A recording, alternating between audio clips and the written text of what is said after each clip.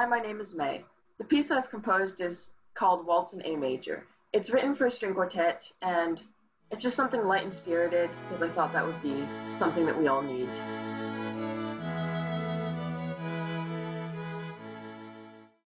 Hi, my name is Lily. I composed this piece because I was inspired by the rain. I love listening to it and watching it.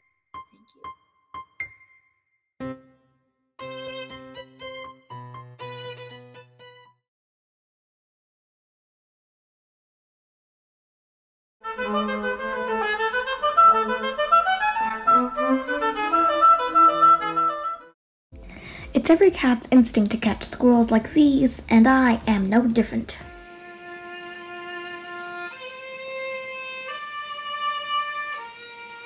My favorite thing that I learned from this class was how different conductors use their like different hands to create the music that they want to hear.